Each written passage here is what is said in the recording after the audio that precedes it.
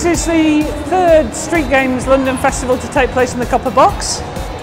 It's the fifth London Festival that we've ever held and it's a great venue and we're really pleased to be here again. Today 1250 youngsters registered to come along, we think there's a thousand here. They come from 57 different neighbourhood projects from all around London and the South East.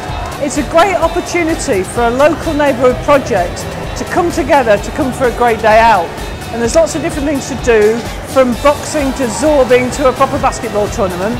Then it just bonds a little group together and keeps people coming back and builds affinity with their local organisation. It's just great. I was out one day with my little brother. We went to the park and then we met a guy named Andres who works for Sports Active Coaching. And then he basically said, yeah, there's opportunities for volunteering around. So I was fully willing to get involved. So I got involved. Because they work so tightly with StreetGames, you get the opportunity to work with StreetGames as well. I'm participating in the street games. We're here to see what everything's about.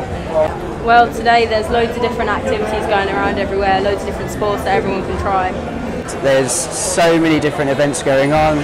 If you literally take a look around, you've got basketball, wheelchair, basketball, running, there's absolutely everything going on. It's a great chance, as opposed to us going to the kids, they get a paid day out, try some sports, have a fun day, and inspire the next generation.